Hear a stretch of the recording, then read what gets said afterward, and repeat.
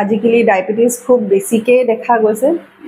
কম বয়সৰ মানুহৰো আজিকালি ডায়েবেটিছ হোৱা আমি দেখা পাওঁ। তো বিশেষকৈ যেতিয়া ডায়েবেটিছটো আৰম্ভণিতে হয় তেতিয়া প্ৰভাৱবোৰ নপৰে।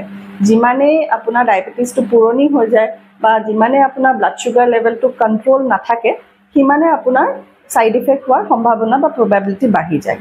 চকুৰ ক্ষেত্ৰত আমাৰ কেইটামান ষ্ট্ৰাকচাৰ আছে য'ত আমি এডভাইচ কৰোঁ যে এজন ডায়েবেটিক পেচেণ্টছে ৰেগুলাৰ চেকআপ কৰি থাকে। বিশেষকৈ ৰেটিনা বা পৰ্দাখন। কাৰণ যিমানে আপোনাৰ ডায়েবেটিছটো পুৰণা হৈ যায় বা আনকণ্ট্ৰল থাকে সিমানে আপোনাৰ ৰেটিনাত কিছুমান প্ৰব্লেমছ হোৱা ষ্টাৰ্ট হয় যাক আমি ডায়েবেটিক ৰেটনোপেথি বুলি কওঁ। যেনেধৰণে আপুনি অইন অৰ্গেনছবোৰ যেনেকৈ হাৰ্টৰ কাৰণে এখন ই চি জি কিডনীৰ ফাংচনটো চাবৰ কাৰণে চেৰাম ক্ৰিয়েটিনিন আৰু ইউৰিয়াটো চাই থাকে সেনেকৈ বছৰিকে একবাৰ মিনিমাম আমি ৰেটিনাখন এখন এটা ৰুটিন চেকআপ কৰিবৰ কাৰণে এডভাইচ কৰোঁ।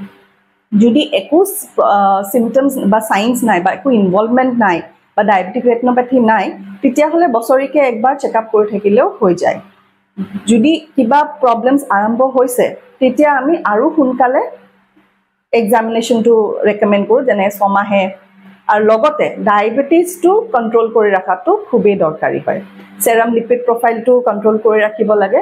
আৰু যদি কিবা ইনভলভমেণ্ট হৈছে তেতিয়াহ'লে কেইটামান আমাৰ কিছুমান টেষ্ট আছে যাৰ সহযোগত আমি কিমানখিনি ইনভলভমেণ্ট হৈছে কেনেকুৱা ধৰণৰ চেঞ্জেছ হৈছে এইটো আমি গম পাওঁ। সেই হিচাপত আমি ট্ৰিটমেণ্ট কৰিলে মানুহৰ দৃষ্টিশক্তিটো হেৰুৱাই যোৱাৰ সম্ভাৱনাটো কম থাকে।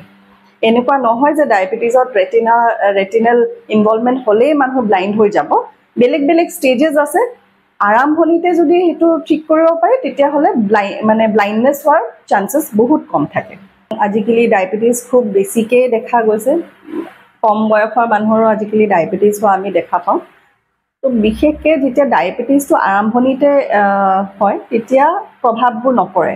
যিমানেই আপোনাৰ ডায়েবেটিছটো পুৰণি হৈ যায় বা যিমানে আপোনাৰ ব্লাড চুগাৰ লেভেলটো কণ্ট্ৰল নাথাকে সিমানে আপোনাৰ ছাইড ইফেক্ট হোৱাৰ সম্ভাৱনা বা প্ৰবেবিলিটি বাঢ়ি যায়। চকুৰ ক্ষেত্ৰত আমাৰ কেইটামান ষ্ট্ৰাকচাৰ আছে য'ত আমি এডভাইচ কৰোঁ যে এজন ডায়েবেটিক পেচেণ্টছে ৰেগুলাৰ চেকআপ কৰি থাকে। বিশেষকৈ ৰেটিনা বা পৰ্দাখন।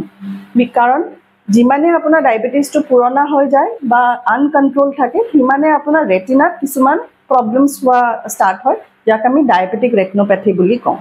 যেনেধৰণে আপুনি অইন অৰ্গেনছবোৰ যেনেকৈ হাৰ্টৰ কাৰণে এখন ই চি জি কিডনীৰ ফাংচনটো চাবৰ কাৰণে চেৰাম ক্ৰিয়েটিনিন আৰু ইউৰিয়াটো চাই থাকে সেনেকৈ বছৰিকে একবাৰ মিনিমাম আমি ৰেটিনাখন এখন এটা ৰুটিন চেকআপ কৰিবৰ কাৰণে এডভাইচ কৰোঁ। যদি একো চিমটমছ বা চাইন্স নাই বা একো ইনভলভমেণ্ট নাই বা ডায়েবেটিক ৰেটনোপেথি নাই তেতিয়াহ'লে বছৰিকে একবাৰ চেকআপ কৰি থাকিলেও হৈ যায়। যদি কিবা প্ৰব্লেমছ আৰম্ভ হৈছে তেতিয়া আমি আৰু সোনকালে এক্সামিনেশ্যনটো ৰেকমেণ্ড কৰোঁ যেনে ছমাহে। আৰু লগতে ডায়েবেটিছটো কণ্ট্ৰল কৰি ৰখাটো খুবেই দৰকাৰী হয়। চেৰাম লিপিড প্ৰফাইলটো কণ্ট্ৰল কৰি ৰাখিব লাগে। আৰু যদি কিবা ইনভলভমেণ্ট হৈছে তেতিয়াহ'লে কেইটামান আমাৰ কিছুমান টেষ্ট আছে যাৰ সহযোগত আমি কিমানখিনি ইনভলভমেণ্ট হৈছে কেনেকুৱা ধৰণৰ চেঞ্জেছ হৈছে এইটো আমি গম পাওঁ। সেই হিচাপত আমি ট্ৰিটমেণ্ট কৰিলে মানুহৰ দৃষ্টিশক্তিটো হেৰুৱাই যোৱাৰ সম্ভাৱনাটো কম থাকে। এনেকুৱা নহয় যে ডায়েবেটিছত ৰেটিনা ৰেটিনেল ইনভলভমেণ্ট হ'লেই মানুহ ব্লাইণ্ড হৈ যাব। বেলেগ বেলেগ ষ্টেজেছ আছে। আৰম্ভণিতে যদি সেইটো ঠিক কৰিব পাৰে তেতিয়াহ'লে ব্লাই মানে ব্লাইণ্ডনেছ হোৱাৰ চান্সেছ বহুত কম থাকে।